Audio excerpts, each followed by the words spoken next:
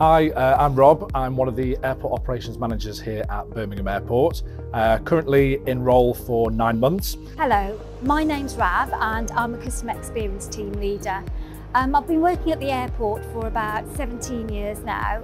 Hello, my name's Jenny. I work within the terminal services departments within the airport. No two days are the same in customer service.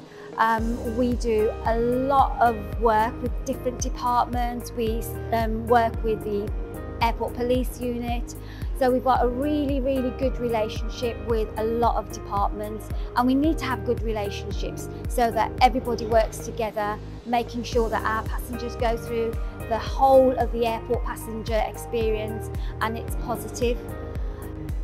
Although you need excellent customer service within this role, there's other qualities that you also need and that's to be really good working within a team but also individually because there will be situations where you will be on your own and you'll need to think on your feet.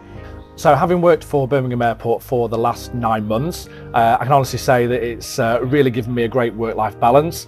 We might operate a 24-hour operation with most of our on-site partners uh, and we work a 24-hour roster. Uh, that being said, the work-life balance from our rostered shift patterns, it really does work uh, to, to its benefit and it's uh, great for the person working it as well.